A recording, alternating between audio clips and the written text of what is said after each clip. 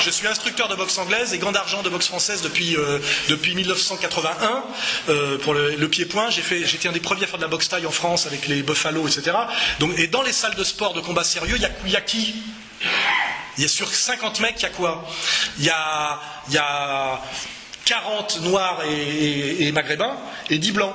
Et quand vous boxez, il n'y a plus de race, il n'y a plus de noir, de blanc. Il y a les bons boxeurs et les mauvais boxeurs, il y a ceux qui ont la classe, ceux qui l'ont pas. Et, on est toujours admiratif d'un Mohamed Ali, même si on est blanc et même un peu que euh, Klux Klan, parce que le mec il a la classe, c'est tout.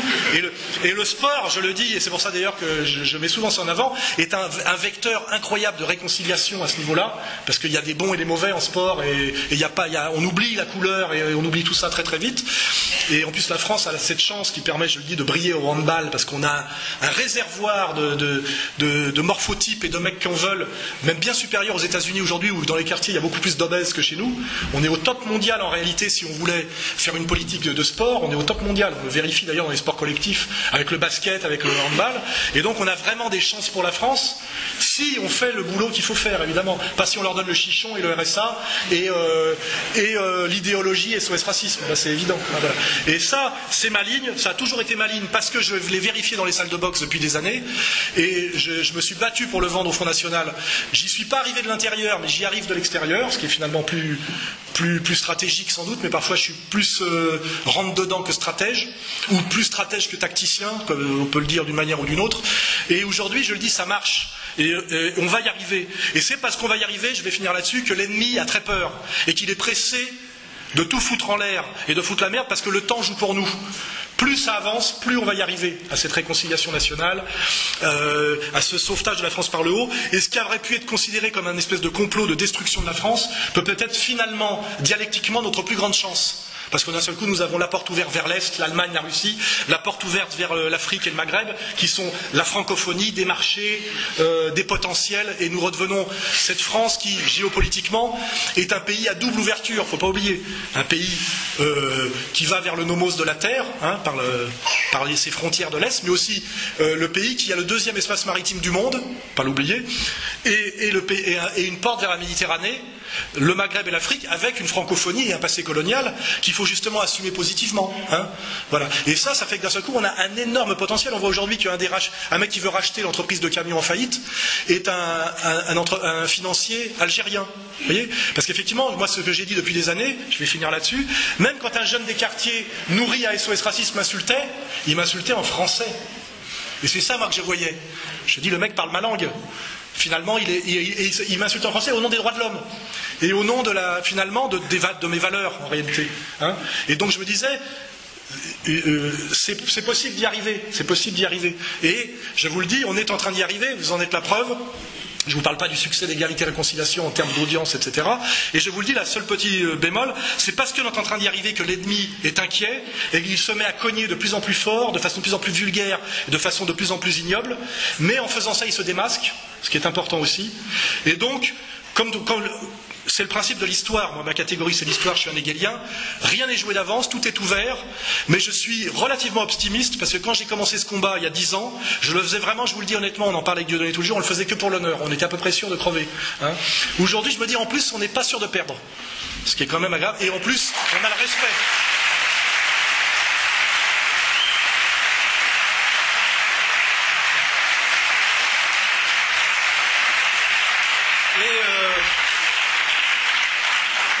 Chose, qu'est-ce qui fait que, je suis motivé? C'est l'incroyable respect que je reçois des gens dans la rue.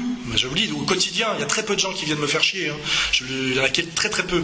Euh, de, toutes, origines sociales et de toutes origines, on va dire, euh, géographiques, communautaires. Et ça, c'est comme quand Dieu voit les salles pleines. Ça, charge à mort d'énergie positive.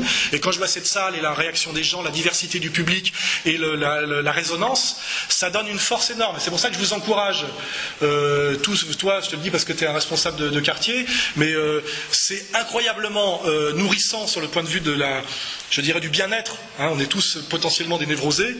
le système fait tout pour que nous le soyons. Hein. Je pense que vous l'avez bien compris. Délinquants sexuels, névropathes, pessimistes, solipsistes, etc. le, système ne fonctionne que là-dessus. Hein. on le sait. Il faut qu'on soit abruti, seul, dépressif, avec consommateur d'objets transitionnels toutes ces analyses ont été très bien faites. Hein. Euh, en réalité, ce qui est, quand vous, rentrez dans des actions collectives et politiques comme, je le fais, c'est incroyablement épanouissant parce, le, ce que les gens vous renvoient au niveau de, je ne parle pas des messages que je reçois, etc., et même un peu de pognon. Ça aussi, c'est un très bon signe. Des gens qui vous envoient des sous euh, en disant euh, continuez votre combat, je ne peux pas me mettre en avant, mais on est derrière vous. Des profs, des petits patrons, des ouvriers, des étudiants, des jeunes de quartier qui me disent je me suis remis à lire grâce à vous parce que je pensais que les livres n'étaient pas pour moi. Viens de passer mon, mon master de je sais pas trop quoi. Euh, excusez-moi.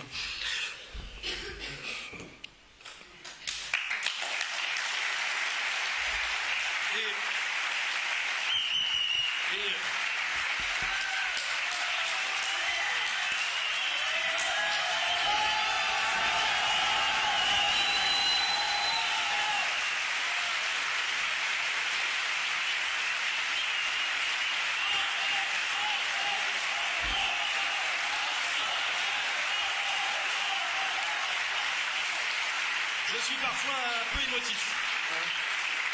Euh, mais c'est vrai que le truc le plus, euh, le truc le plus troublant et le plus bouleversant, c'est des jeunes de quartier qui étaient voués à la délinquance, soi-disant, machin, etc., qui te disent je viens de passer mon doctorat de je sais pas trop quoi, et euh, c'est grâce à vous en partie, etc. Ça fait incroyablement de bien. Et aussi quand je vois des vieux fachos aussi, qui étaient racistes jusqu'à la trogne, bien qu'on peut comprendre, hein, parce qu'ils en avaient pris plein la gueule dans des quartiers où ils avaient acheté un HLM, ils avaient mis 20 ans à le payer, puis à un moment donné ils sont obligés de se barrer en vendant le truc une bouchée de pain parce qu'ils avaient des petits cons qui fait du toute la journée devant chez eux, sans jamais travailler avec les dernières marques de basket et de téléphone portable. il y a des deux côtés.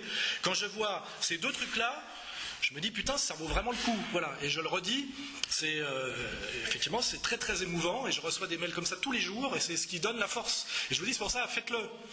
C'est bien mieux que de que d'être sur YouPorn et, euh, et de faire les magasins le samedi. Voilà. Je finirai là-dessus